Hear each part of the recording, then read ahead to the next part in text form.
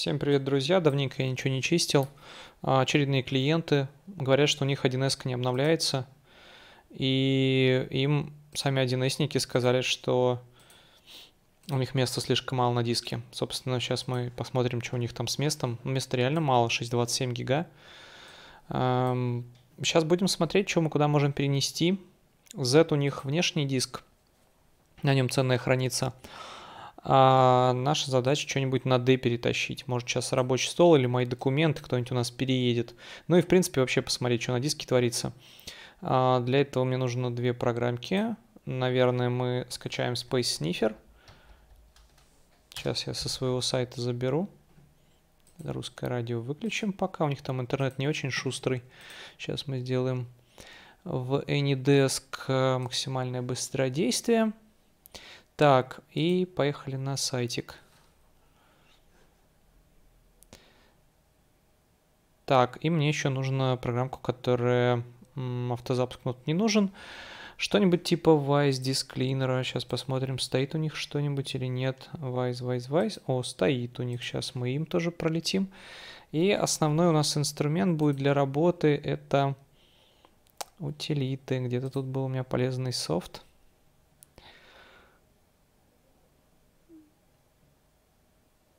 Нет, видимо, сюда я не клал.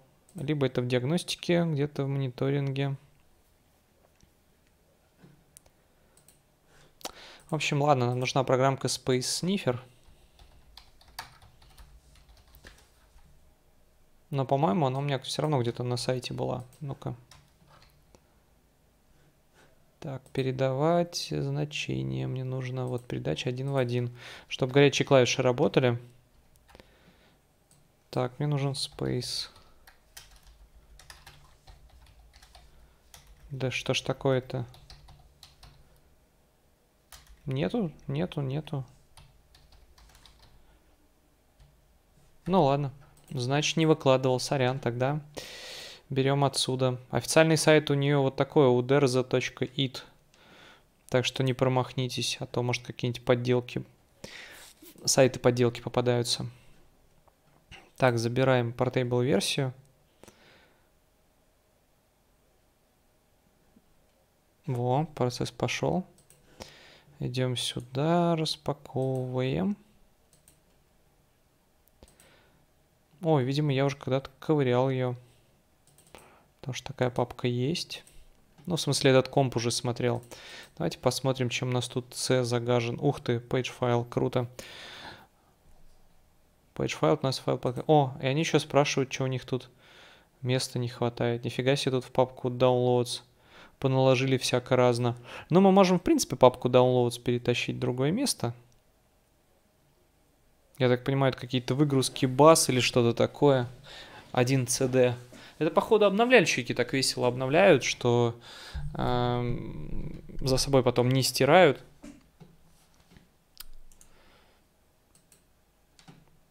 А page файл это у нас файл подкачки, мы его сейчас поменяем. Давайте сначала за файлом подкачки сразу сходим.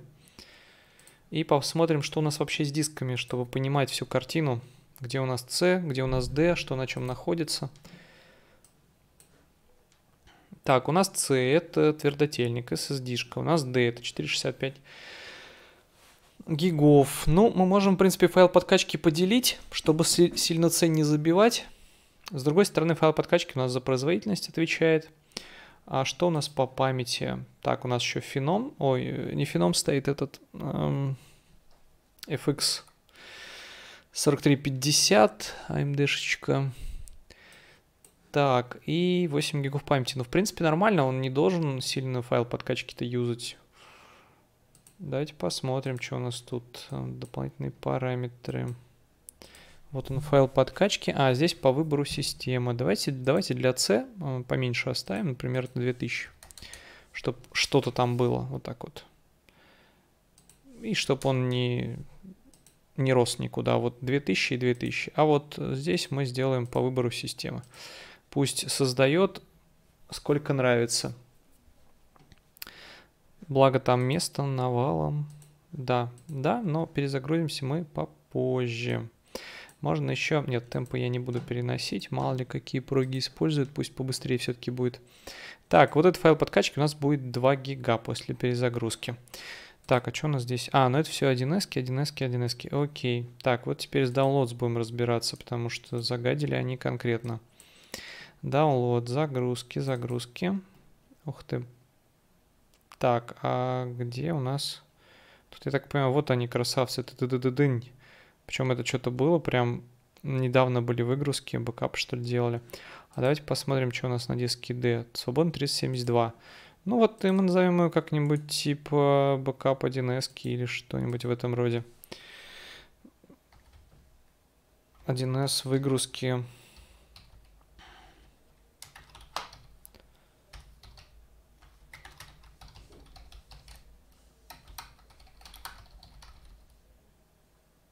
Вот так и обзовем.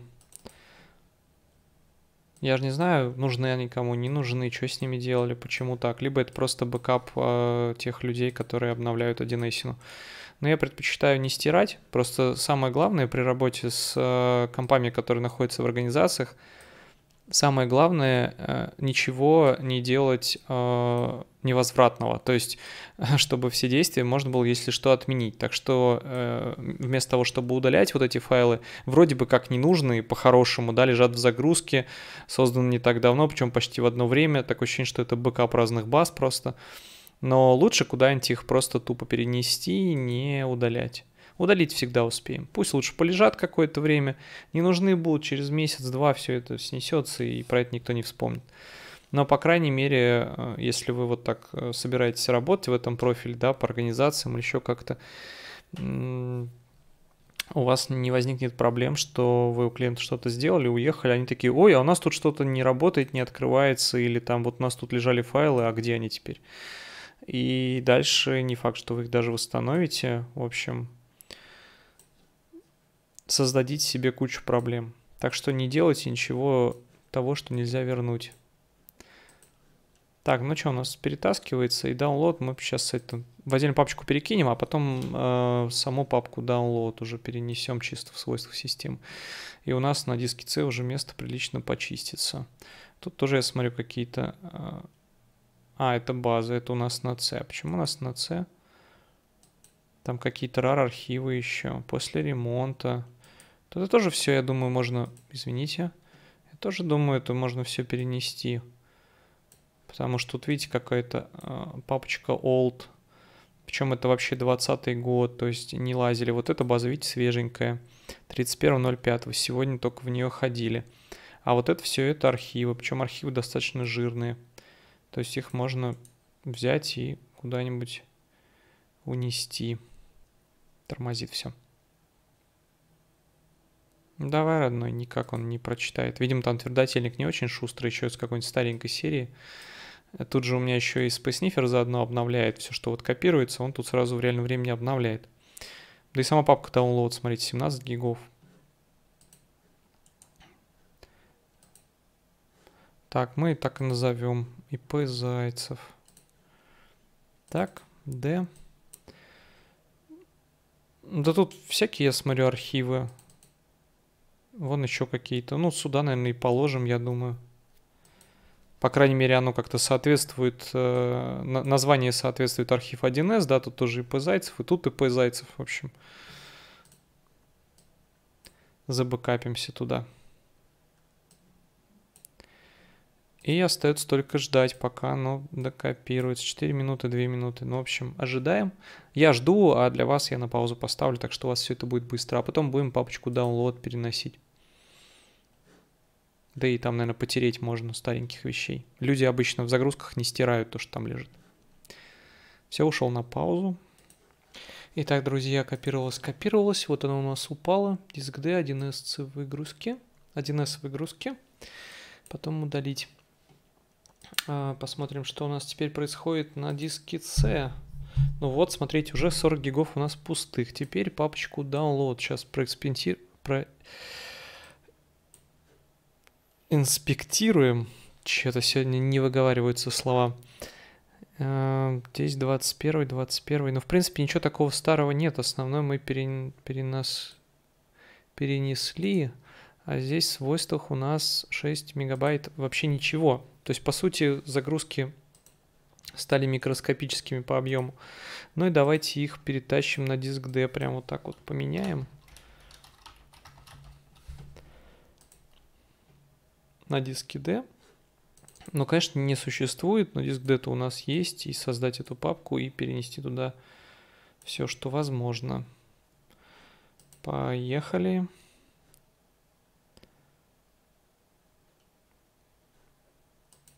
Еще, кстати, недавно с напарником тут пообщался, он мне подкинул одну идейку э, насчет работы с твиротельными дисками. Э, сейчас посмотрим, есть ли тут такая штука, как оптимизация. Оно в сервисе обычно находится. Ага, но здесь у нас по сути, по сути нету выполнить Расписание, дефрагментация включена. В семерке, видите, эта штука называется дефрагментацией, а в десятке называется оптимизация. Находится примерно там же. Я думаю, что для твердотельных дисков эта штука бессмысленная и даже вредна, потому что изнашивает их быстрее. Поэтому тут я дефрагментацию выключу. Хотя на он стоит никогда не запускать, а на остальных двух дисках работает. А вот на десятке там стоит оптимизация диска, и ее лучше выключать, потому что диски сейчас достаточно умные, сами умеют все оптимизировать. Но на десятке эта функция включена, соответственно, десятки, десятка быстрее диск твердотельно изнашивает. Поэтому вырубайте. А сейчас я вам, кстати, на своем, наверное, компе покажу, чтобы было проще. Вот смотрите, диск C у нас свойства, это уже в десятке, да? сервис, и вот здесь есть оптимизация. И вот смотрите, можно взять и подключать. А, видите, отключено. Тут есть кнопочка «Включить». То есть вот эту галочку убираете и все. У меня оно уже отрублено на твердотельнике. Это так, из полезняшек к, к текущему видео, потому что особо здесь мы ничего не чистим. Так, ну и что у нас по объему? Общий размер, отлично. Так, э, давайте посмотрим. Но это у нас две базы, мы их никуда не денем, они на твердотельнике лежат, чтобы быстрее работали.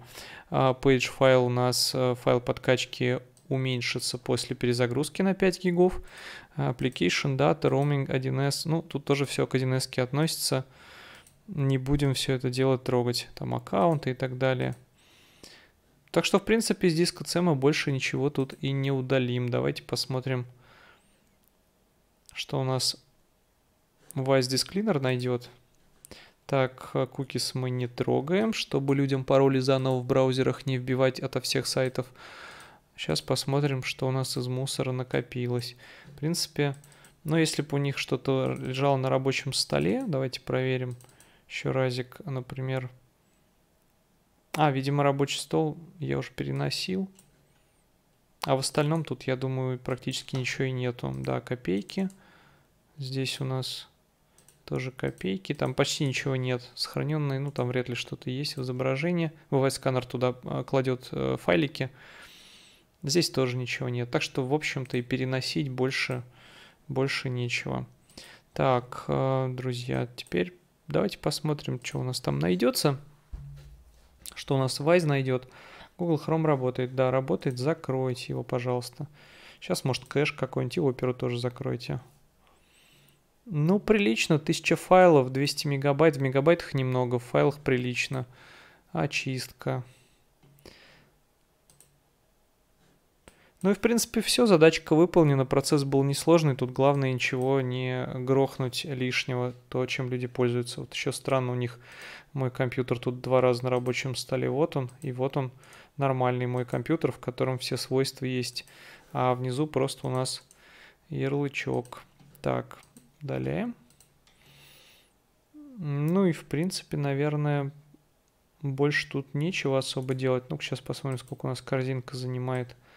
О, я уже выставлял, видите, 500 мегабайт максимально. Я обычно корзинку, размер корзинки выставляю, потому что по умолчанию Windows берет проценты от диска, и корзинка может там 20-30 гигабайт быть, 50. Я стараюсь поменьше сделать потому что люди ее многие не чистят и Там накапливается куча файлов. Вот еще я смотрю, тут Касперский, видимо, обновился. Во-первых, зачем вам значок на рабочем столе? Во-вторых, Касперский паспорт менеджер, вряд ли они им пользуются. Скорее всего, даже не регистрировались там ни разу. Сейчас посмотрим. А у моей Partition ассистент не нужен он им. Пусть на рабочем, пусть в пуске лежит. Просто я его, скорее всего, ставил для чего-то. Так, а вот этот... А, паспорт менеджер начать. Понятно. Значит, значит, никто им и не пользовался. Сейчас мы его и снесем. Видимо, после обновления. Ох, сколько тут обновляшек-то для 1С восьмерки. Пипец. Начиная с самых старых версий до самых свежих. Вообще 1С, мне кажется, они специально а, выпускают обновления. Да, удаляем. Реально не нужно столько обновлений выпускать по факту. То есть обновления не имеют никакого функционала, только Э, выпускаются ради того, чтобы э, нелегальные обновляющики не смогли ничего сделать. То есть, чтобы люди все подписывались на официальное обновление и платили денежку.